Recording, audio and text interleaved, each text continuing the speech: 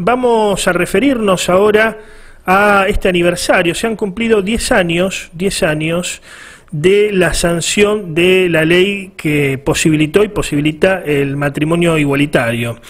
Eh, para el caso estamos en contacto con Esteban Paulón, que es ex eh, subsecretario de, Diversidad Sexual de la provincia de Santa Fe y hoy por hoy eh, presidente del Comité Ejecutivo Red Gay Latino. ¿Cómo estás, Esteban? Buenos días.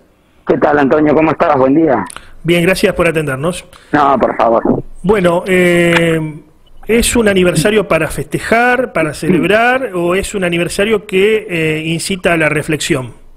Bueno, primero celebremos porque son 10 años de, una ley que permitió que más de 20.000 parejas en todo el país, cerca de 1.300 en nuestra provincia, puedan acceder a un trato igualitario por parte del Estado en relación a sus familias, a su afectividad, a su, a su propia sexualidad y, y también incluso incorporar hijos e hijas, acceder a la adopción y a tantos otros derechos que trae el matrimonio, ¿no? Y después también otro motivo para celebrar en estos 10 años si lo vemos en perspectiva, es que estamos ante una ley que ya 10 años de, ejercida, un derecho que ya 10 años de ejercido, hoy nos pone frente a una primera generación de niños, niñas, jóvenes, adolescentes, que son nativos igualitarios, que ya nacieron con esta ley como algo más del paisaje cotidiano, ¿no? Y eso eh, claramente tiene una acción educativa muy importante, pedagógica muy importante, que hace que, que, bueno, que estos derechos se vayan asentando y se vayan consolidando. Por supuesto que siempre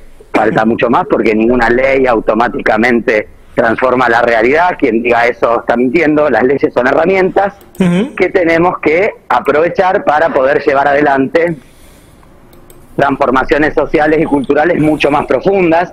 La discriminación tiene causas muy profundas, tiene que ver con la educación, con el prejuicio, con, con las tradiciones, con la historia, y bueno, es un, es un andamiaje complejo, pero hoy estamos parados en muchas mejores condiciones, obviamente, porque contamos con esta herramienta, también con la ley de identidad de género, y creo yo, sinceramente, Antonio, con una mayoría social que, que, ya se habituó a que esto sea un derecho, incluso muchas de las personas que tal vez en aquel momento estaban en contra y tenían dudas, hoy ven que la ley no tiene ningún efecto complejo, ni, ni pernicioso, ni se destruyó la familia, ni llevó el caos, ni pasó nada de todas las calamidades que, se, que se pensaba que, iban a ocurrir, ¿no? Claro.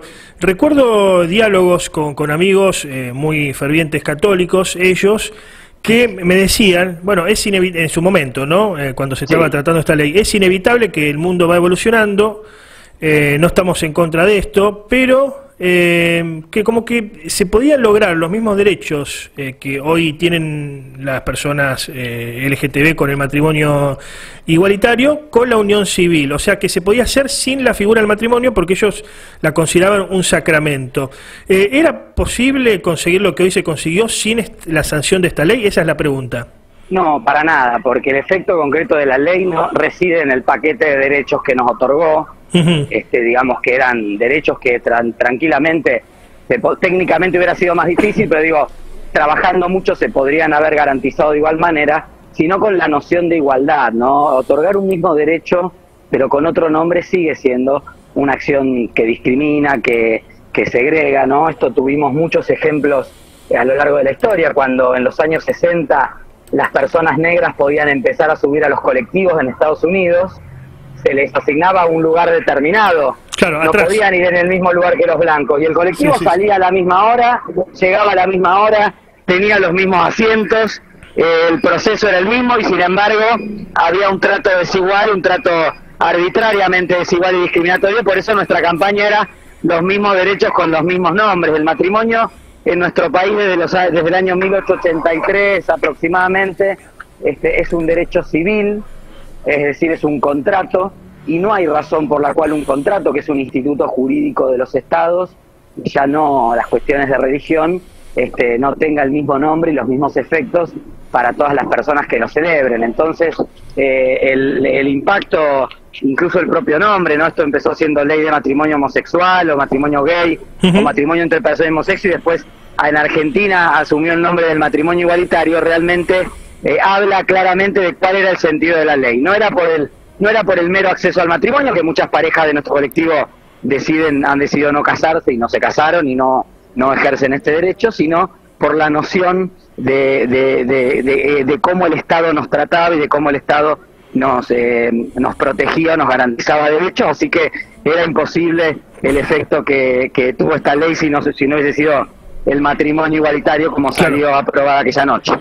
Eh, durante la gestión de la que formaste parte, la del Frente Progresista con el socialismo a la cabeza, se le dio mucha importancia al tema del tratamiento de los derechos eh, y de, cómo mejorar los derechos para las personas del colectivo LGTB. Eh, ahora con Perotti, ¿cómo se está tratando el particular? ¿De la forma adecuada? ¿No se le da la entidad necesaria? ¿Cómo, cómo considerás la, la gestión de Perotti hasta el momento en ese aspecto?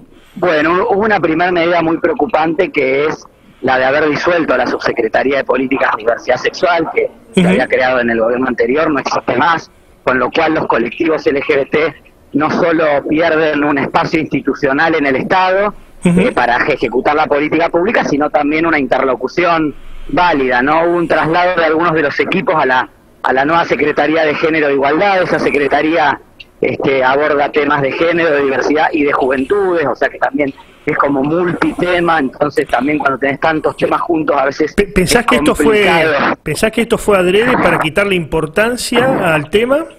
Lo de la, la quita de la subsecretaría de, de diversidad? Creo, creo que más que eso es una cuestión de, yo por lo que veo y porque sé por gente que, que ha quedado, que es de planta, que nos acompañó sin ser del partido ni de la gestión, pero que se, se sumó a colaborar en los distintos proyectos que nosotros hacíamos, creo que hay como una visión bastante mezquina políticamente de eh, arrasar o echar por tierra todo lo que se hizo antes, ¿no? Incluso cosas este, inexplicables, como por ejemplo los servicios de las infancias trans, que fueron premiados por UNICEF, porque fue el primer servicio estatal de América Latina para las infancias trans, un modelo de atención y ah, desde diciembre no funciona. O sea, una hay desidia, hay, hay alguna cuestión que tiene que ver con desactivar un poco la demanda de los colectivos, también hay una línea política de no trabajar con, directamente en territorio, sino que eso lo hagan los municipios, evadiendo una responsabilidad fundamental del Estado.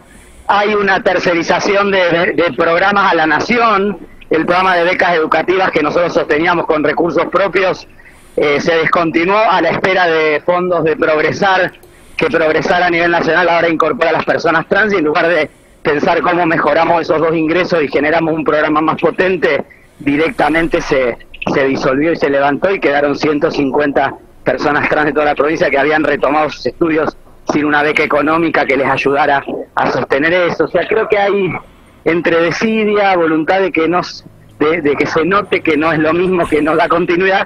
Y la verdad que es un error porque el Estado es una continuidad jurídica y las políticas que han funcionado, y yo creo que las de diversidad sexual se asentaron muy fuertemente en estos años, con errores seguramente, con cuestiones que pudimos haber hecho mejor, pero creo que estaban muy instaladas en el imaginario social y como una marca de identidad del gobierno, me parece que, que en ese sentido hubiera sido inteligente haber sostenido y dado continuidad a ciertas políticas, ¿no? Pero bueno, son decisiones este, y, y toca a las organizaciones y a los colectivos sociales que están muy organizados y están muy fortalecido en toda la provincia, demandar y reclamar para que se vuelvan a sostener los servicios y los, los derechos que antes se habían conquistado.